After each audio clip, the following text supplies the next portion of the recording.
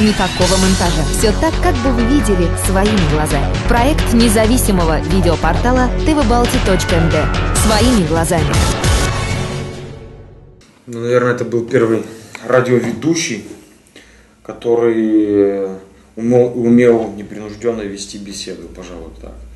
И он всегда знал тот вопрос, который сейчас обсуждался, то есть он немножко знал историю своего собеседника, и вообще он был очень-очень в этом плане эрудированный человек. Как журналист он был очень э, сильный, очень, ну, талантливый журналист. Я, я не знаю, насколько это применимо, но журналистом должен быть всегда, э, наверное, как, как Саша Зинкевич. То есть э, он ни с кем никогда не ругался, он всегда был в курсе всего, и он мог пролезть туда, куда многие пролезть не могли. Мог достать информацию там, где нам остается только мечтать.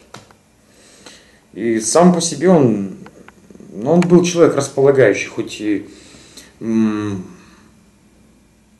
будем так говорить, внешность у него была такая интересная и не всегда она располагала, но достаточно было ему рассказать два-три слова, как э, ты расплывался, все, и ты поглощался вниманием вот, Саши, э, этого человека. Поэтому он был профессионал своего дела, он всегда знал, чего он хочет, он всегда знал, э, и он всегда жил спокойно вот все его, все его движения, никогда он никуда-то не торопился, он всегда был выверенный, такой спокойный, а, даже где-то медлительный, потому что он всегда говорил, я успею, его речь такая поставлена, то есть, когда слушаешь радио и потом встречаешься с ним на, наедине, такое ощущение, что так и так и продолжаешь. Бархатный его голос, это он всегда завораживал. Он как, как бы его был такой конек всегда быть интеллигентным, всегда быть, э, со всеми всегда дружить. Зачем? Поссориться мы сможем всегда. А еще то, что по, по своей, то есть каким-то вещам журналистским, наверное, я, я не могу себя назвать журналистом, потому что все-таки это профессия, а я только-только, наверное, третий год в этой профессии. Э, я думаю, что если бы он... Я начал заниматься журналистикой, всем вот этим, Э, через два года после того, как он ушел, ну, думаю, что если бы сейчас, если он тогда, когда я начал этим заниматься, он был бы рядом, то я бы многому научился.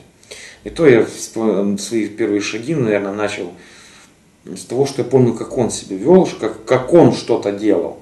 Но я не был с ним так близко, но я всегда видел, что он всегда в центре внимания, он, вернее, всегда в центре событий, он всегда знает, он всегда там, и постоянно он... Наверное, это и есть качество журналиста, я пока еще до, до этого не дошел. И как рокер он был сильный, он любил музыку, он, он любил нас, как группу, как группу ЧМД, э, что он не пропускал, не, редко очень было, чтобы он пропускал наши концерты, он их монтировал, он их выставлял, он принимал участие, вдохновлял даже в каких-то вещах, у нас даже шутовская месть, которая у нас была. А, Пер... Это я помню, с самого второй... начала вы да. встречались и только хотели этот проект вести, рассказывали об этой шутовской месте, что вот у вас есть идея. Саша спрашивал, это вы тогда возле Патрии сидели, я помню. Да. Саша спрашивал, как ты видишь этот проект, что? Он говорит, ну мне нужно снимать. Ты говорил, что вот камеры нет, если mm. можешь, Саша. Я помню, по-моему, несколько серий, когда он совместно с вами, да, он сам снимал. Да, он снял несколько серий в начале, это были самые начала, это вот кусками там, потому что весь сериал снимали по В Аргееве ездили, там снимали, не в Аргеев, нет? В нет? Сороке. В, в Сороках, да? В Сороке вот э, первую часть, она вот на, на, на процентов снята Сашей. Дальше уже по чуть-чуть, по чуть-чуть. И в итоге, то есть потом просто как, ну, он все-таки журналист был, он вел свое интернет-телевидение, но из первых, и там требовал времени. Ну, он просто камеру давал, ребята, нате, идите, снимайте. А потом первую часть, практически всю, он выставил на своем интернет-телевидении. Э, первый акт. И он всегда был, он помогал делать промо-ролики. Он промо-ролик первый сам сделал. То есть он в начале проекта, в 2012 году, в 2012 начале 2013 года, то есть он плотно с нами был. Потом, то есть мы как-то набрали обороты, то есть он всегда интересовался, что там, как там у вас, что там, какие планы.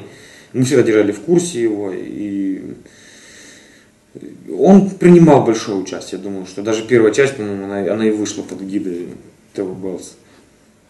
Я еще вспоминаю, когда ты говорил выше в интервью, что Саша очень любил посещать ваш, ваши концерты. Я помню, я была на одном из концертов из ваших, да, и там была композиция «Память Александра Зинкевича». Кто написал слова и музыку, и э, она была специально написана для Александра Зинкевича? Нет, Нет не что специально, это я не буду, я не буду говорить, э, не хочу, чтобы это в тот момент, в тот день, то есть это был 2014 год, это наша старая песня, это песня, с которой ЧМД в 2002 году впервые на сцене ДК Реут вышла на сцену, то есть 8 ноября. То есть это самая первая наша песня. Почему-то она вот вышла у меня такой слишком, наверное, философской. И, а наверное, почему именно эту при, композицию при... Она для него? Потому что сколько песен не спето, и счета им нет. Пусть на отблесках нет, а не сотрется мой след. А его свет никогда не сотрется. Не сотрется. Я не больно речистый, да в родные места, и струистые и чистые пусть уносят мечта, и положенным сроком, и с открытой душой, стану малым притоком нашей песни большой. И мне показалось, что вот именно слова песни, они очень подходят э, ну, к памяти Сашиной, наверное, потому что потому что он оставил большой след, и он, он уже стал историей этого города. В одной из годовщин вы тогда вот организовали концерт в память Александра Зинкевича, это я помню, в Декареот. Я тогда присутствовала, и когда была вот эта композиция «Память Александра Зинкевича», и там был спроецирован его портрет, и вот Мы презентовали это тогда я помню. вторую э, финальную часть «Шутовской мести», и один из блоков своего, то есть презентации, мы посвятили тому, что как бы мы не могли не, э, не упомянуть его имя, так как э, весь этот проект, он был связан с ним, не то что связан, он начинался с ним вместе, поэтому не упомянуть его нельзя было. Поэтому жаль, что он, он так и не, не дожил ни до первой презентации, ни до второй. Нет, э, нет, первую презентацию он смотрел первую первую часть. Первую часть он был, был с нами. Да, я помню. Это было в начале 2014 года, это было 1 марта. А ко второй, к сожалению, это было уже в конце года. Его уже, уже не стало как. Поэтому не упомянуть его имя и просто чтобы его фотографии не присутствовали. Хотя он просто в душе у нас был вместе с нами. Он был в этом фильме, он был частичка этого фильма. Одна из важных таких частей. Это было интервью с Михаилом Смоленко в память об Александре Зинкевиче. А, я дополню, угу. можно.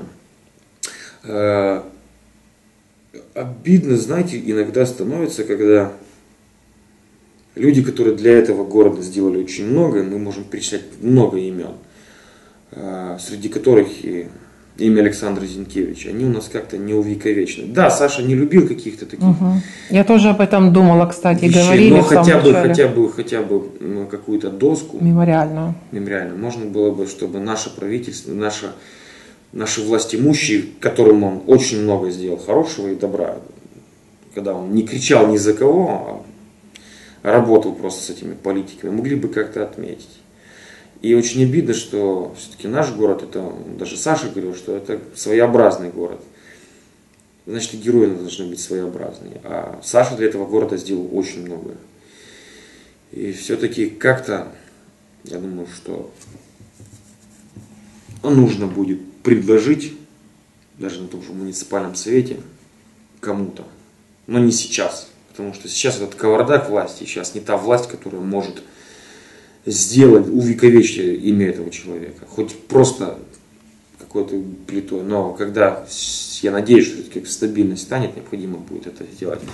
Потому что такие люди, как Александр Зинкевич, должны оставаться в памяти горожан этого города Бельца, потому что и так в этом городе гордиться нечем, честно говоря. Насколько мы бы не любили, насколько не процветал бы у нас великобельский шовинизм. Но вот таких людей, как Волонтир, как Зинкевич, э, надо помнить, потому что эти люди, где это действительно лица и имена нашего города, которые много для него сделали. И не отмечать их как-то, то кого отмечать? кого другого тогда? То есть те, кто себе дворцы понастроил везде, а эти люди создали имя. Так что что важнее?